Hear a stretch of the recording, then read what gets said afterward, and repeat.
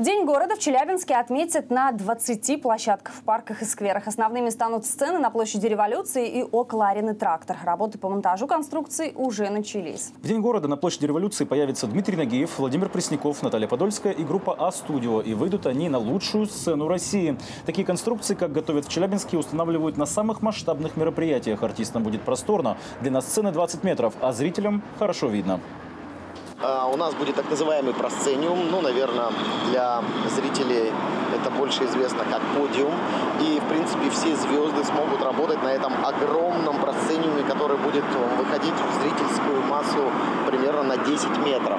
И в конце еще расширяться. Поэтому всех исполнителей можно будет увидеть очень-очень близко.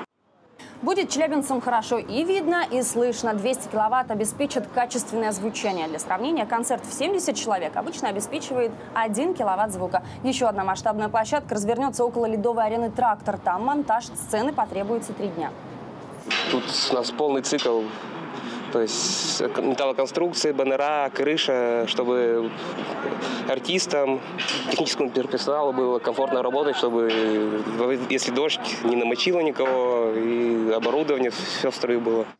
Именно на эту сцену выйдут Тимати, Федук и Назима, участница шоу-песни, а теперь артист лейбла Black Star.